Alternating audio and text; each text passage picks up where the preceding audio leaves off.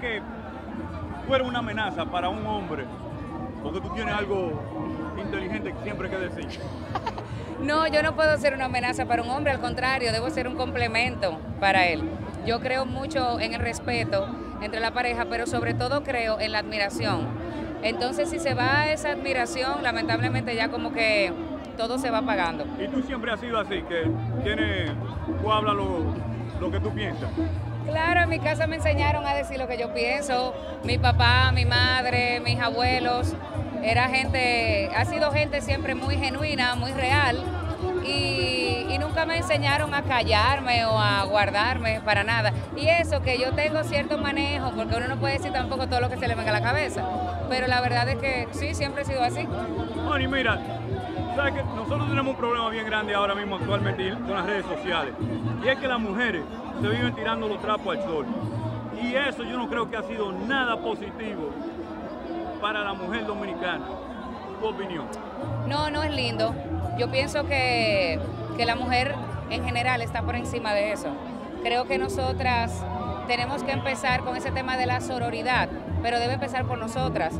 A veces nos molestamos porque los varones tienen ciertos términos hacia la mujer, pero si nosotras mismas no empezamos a valorarnos, a respetarnos y a respetar a las demás, entonces no podemos esperar ese respeto del otro género, del género contrario.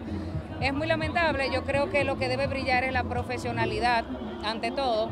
Son situaciones que se dan, creo que nadie es perfecto, en todas las épocas y etapas de la comunicación han sucedido y han pasado cosas.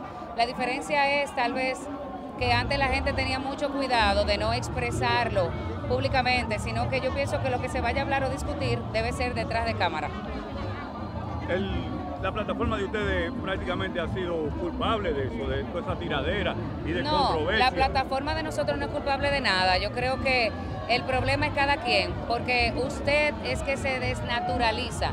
Es como yo digo, el diploma no es que te hace profesional, tú eres que le da la profesionalidad al diploma. Entonces, cada quien va a ser como es, sin importar dónde se encuentre. Si ustedes no se imaginan tal vez la cantidad de, de gente con la que uno ha trabajado en diferentes medios, que bueno, yo creo que a los foques o el edificio rojo, como le dicen, tiene más pulcritud que muchos otros lugares que tal vez tengan una fachada hacia afuera de una manera, sin embargo, el respeto que, que nos tienen, el valor em, y, y como esa familiaridad que tenemos con, con Santiago y demás. O sea, cada quien, yo voy a ser mala, no importa que yo esté en Nueva York, en República Dominicana, eso tiene que ver conmigo, no donde yo me encuentre. Por fin, mira, ¿qué tú le dices a, a la juventud, especialmente a las mujeres, que están creciendo, que ven, que ven, que, que te admiran y cosas así, y que admiran los programas de ustedes, cuando públicamente ustedes hablan de, de lo que ustedes hicieron con su pareja, de lo que esta hizo con su pareja? ¿Qué ustedes dicen ahí? No, es que yo pienso que me está, no entrevi- está entrevistando a la persona equivocada porque no tiene nada que ver eso conmigo.